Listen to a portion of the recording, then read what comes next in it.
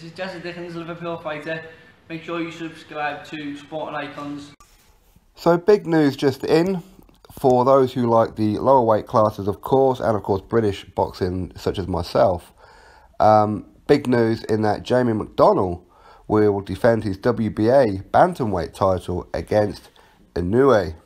Now Inoue has just moved up, and this will be his crack at a world title. And Jamie McDonnell big, big props to him for this one because not only is he defending his title against somebody who's tipped to be one of the future stars, if you like, of boxing potentially, um, especially coming out of Japan. But like I said, Jamie McDonnell is actually going to Inoue's backyard in Tokyo, Japan, to defend his title. Now, Jamie McDonnell, um, he's a brother of Gavin McDonnell, who won the weekend over Gamal Yafai in a very one-sided fight, very good fight actually. Um, he's 31 years old and he does have a record of 29 wins, 13 of those by knockout, and two losses. But of course, his two losses were way back when in 2008 and 2007, where he lost two fights on the bounce. First one was a split decision, um, lost to Chris Edwards, and then he lost straight away after that to Lee Haskins. Lee Haskins, of course, his last fight he lost to Ryan Burnett in a very good fight as well.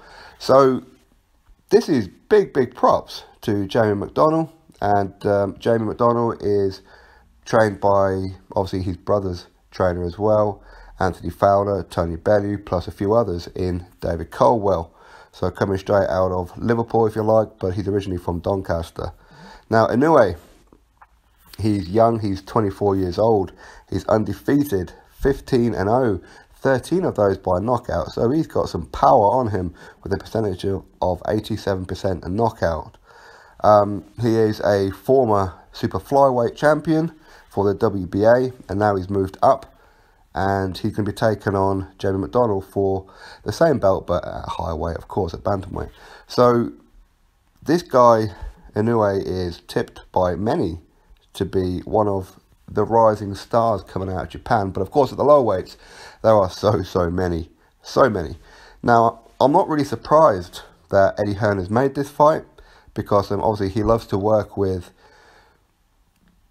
the stars, if you like, of the world. You know, he was always wanted to work with Triple G. He'd done that with Kell Brook. He always wanted to work with Vladimir Klitschko. He'd done that with Anthony Joshua and Inoue just now, plus many, many others. So this is not a great surprise from an Eddie Hearn standpoint, if you like, and that's not a dig, by the way. Um, but I think that uh, Jamie McDonnell, that's showing some guts, real, real guts. Now, even though Jamie is the champion, I'll probably imagine most bookies will have Inoue as the favourite for this one, even though he's like pretty young into the game, if you like, but he's exceptional, absolutely exceptional.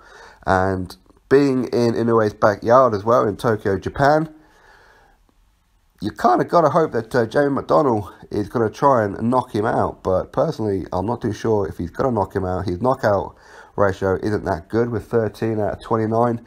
Not that good, really. Um, but you never know. You never know. But uh, Jamie McDonnell is a very, very good fighter. Now, his last fight, well, his last two fights, if you like, um, he got a unanimous decision over Solis.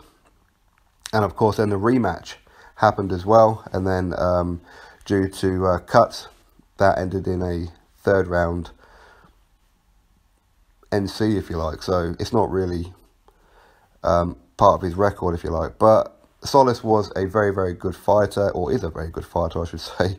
So Jay McDonnell has been in there with some top lads as well. Uh, Fernando Vargas as well, and uh, he knocked him out.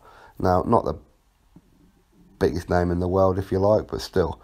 Um, Jay McDonnell's got a very, very good crack at beating Inoue. But um, obviously, Inoue, a lot of people would have liked to have seen him take on some of the bigger guys first before he moved up. But it is what it is. Um, clearly, he wasn't too happy about making weight.